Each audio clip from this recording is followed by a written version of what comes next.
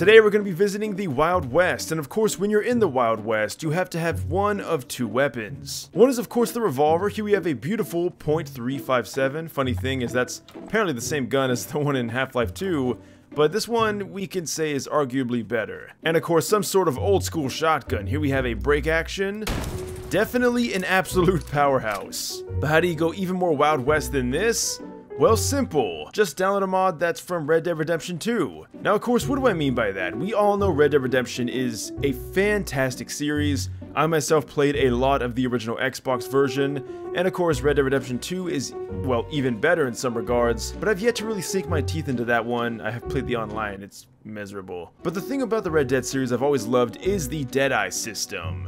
A function where you can pretty much slow down time, mark your targets, and then pretty much get aimbot. And we have that in today's video. If you guys couldn't tell, in the bottom left corner, we do have the Deadeye meter down there. That obviously does get wasted as you're in the Deadeye mode. When you're in this mode, by the way, the damage you take is reduced by half. So don't worry about dying when you're in this mode. And then, of course, when you do bind certain keys, I have X as my key, you can then bind the toggle button to mark your targets. And then there's a very slim chance that you can get that awesome kill camera. Now it doesn't happen all the time, and you don't even need to be in Deadeye to have it work. Sometimes when you just shoot or kill normal NPCs, you'll even get it. So now that we've seen it in action, let's take a deeper look at the Deadeye system.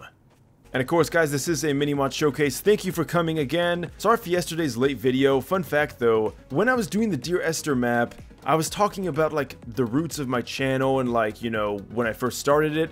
Well, I didn't even realize that yesterday was the 11th anniversary of the YouTube channel, so it's kind of fitting that we did that video anyway, kind of taking a look back at something that made me kind of want to start YouTube in the first place, or I guess PC gaming as a whole. Anyway, now we're going to talk about the nitty gritty.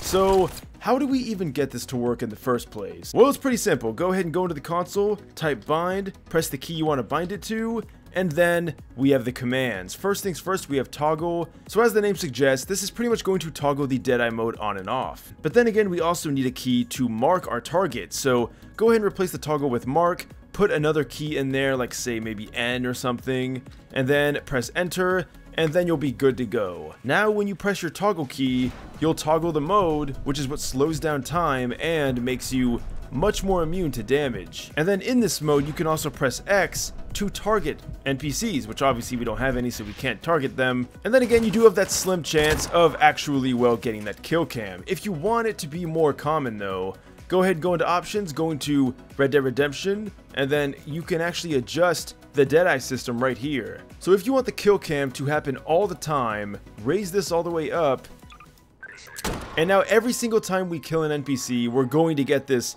bitchin' looking camera. Now it is to get kind of annoying, you know, if everything you kill has that camera, so that's why it's amazing that the creator does give you the option to lower the chance if you want. Now don't worry, because when you're in that camera feed, you might think that you're susceptible to damage, however, the creator has disabled damage completely, so you're pretty much invincible. Alright, next up we have the low HP effect. So this is kind of interesting. What does this even do? And in order to properly showcase this, we are going to need to take some damage. Alright, we're almost there. We have to get down to, I think, 30? Okay, so once you get down to low health, you're gonna notice things start to get a little weird. Well, that was a little too weird. Um, I guess we can talk about the death effect. So when you die, you get this really cool effect creepy music as well. And then when you press left click to spawn, you are reawakened back into the world of the living. But obviously we don't want to die, we just want to be hurt like a... So let's get down to that point. Alright, here we are, 18 health, and now you're going to start to notice things are getting very strange. Our screen is changing to these weird red hues, everything's getting kind of blurry, and by the way, this is kind of a demanding feature, so be very cautious of this. However, if you don't like it, you can simply pretty much disable it. So it's going to add some sway, although we also have movement uh, enabled, which is giving us some sway as well. In fact, that probably isn't a good idea to have both of these enabled, but honestly, I don't see a problem with it. Alright, time to get our rootin' tootin' Red Dead on. We do have a few more options, of course, like in Deadeye, you can choose the slowdown time, how much Deadeye you have, a bunch of crazy things. So props to the creator for giving us all these features and settings to adjust. But I really want to get down to business, so this is the power of Deadeye. We can mark all these targets, kill all of them within a fraction of a second, and we even get the kill cam on the final one, although I'll be honest, it doesn't look all that great. Now we have a predicament though. We are really low on health, things are looking dire, and we have pretty much no Deadeye. So how do we get more Deadeye more quickly? Well, I'm glad you asked, because we have a cigar to smoke. I'm not kidding. Smoking this will increase the rate of your Deadeye recovery. Just don't smoke too much, or you'll get lung cancer. In fact, kids don't smoke at all. But in video games, it's cool. So let's go ahead and just kill this guy. Okay, I don't even feel like whipping out my revolver, but things are still looking pretty dire, especially because that cigarette, I mean, let's be honest, that didn't help us at all. So you're gonna be suffering from these effects the entire time until you get health, or you eventually die. So all in all, I think this is a really cool feature, and it perfectly represents how the Deadeye system works in the Red Dead Redemption games. But I'd love to know, guys, what do you think about this mod down below?